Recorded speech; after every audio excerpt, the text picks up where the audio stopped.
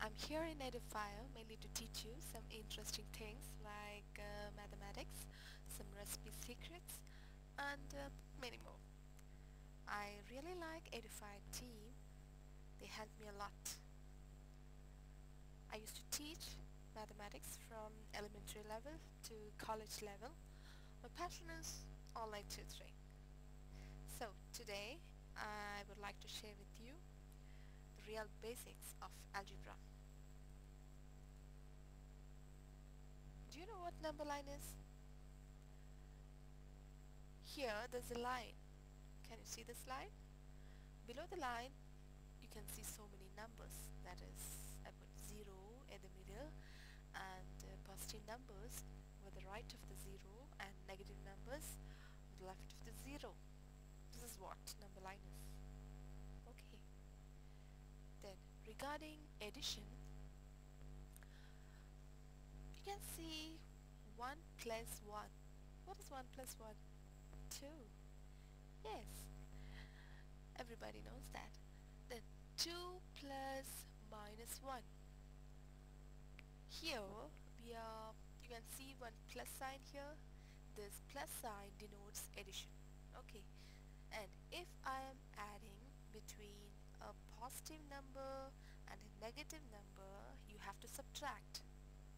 So plus 2 and plus minus 1 is equal to I told you you have to subtract. So 2 minus 1 is equal to 1 so the question is which sign will be putting for the answer? You can put the sign of the bigger number. Here which is the bigger number? Here 2 is the bigger number so positive. 2 so uh, the answer will be positive 1 okay. Similarly the next one that is minus 3 plus 2 we are going to add different sign numbers. That is negative 3 and positive 2 so what you are going to do? You have to subtract. Yes. So 3 minus 2 is equal to 1 so what's which what's the sign the sign is um, the sign of the bigger number. So here, which is the bigger number? 3 is the bigger number and 3 is having negative sign. So your answer will be negative 1. Okay. Finally, you're going to add same sign numbers. That is negative 6 plus negative 6. So if you're having same sign number then you have to add okay?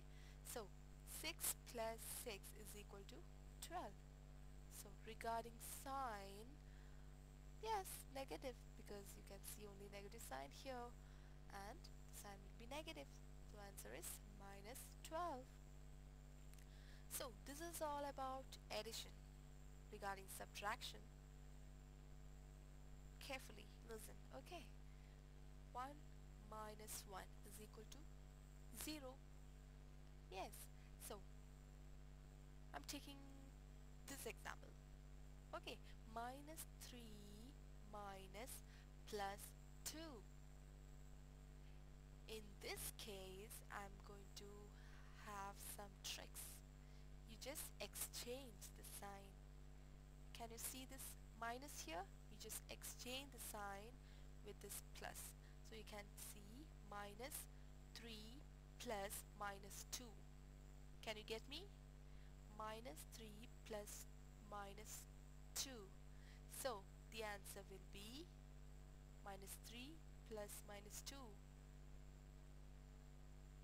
yes the answer is minus 5 why you got the answer like that because you already know the addition rule that is minus 6 plus minus 6 so I just exchange the sign that is minus 3 plus minus 2 this is how you, you used to uh, deal with subtraction.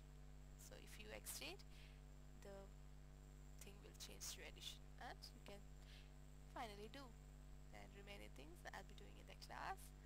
Now time to leave. Bye bye